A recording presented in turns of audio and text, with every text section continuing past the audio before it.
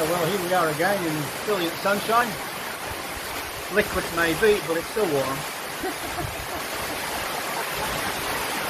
My goodness, it's, it's very welcome, believe me. But we had some baby rabbits born Did you cover it? last morning, uh, last night, and when I checked this morning, there were two there. We had one that was was not alive, so, so I've just been to try and cover them up as best I can. And uh, but you know, nature is nature, but mother should look after them. So there's only two left. Uh, it should be okay, but just take as many precautions as you can. So in the meantime, we'll just wish and it brings with it mixed blessings.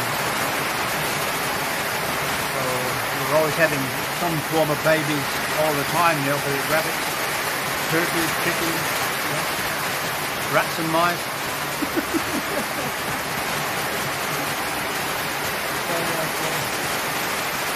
So, hope you guys are keeping well, keeping safe. I'm going to make me a cup of coffee, so we'll excuse me. In the meantime, take care.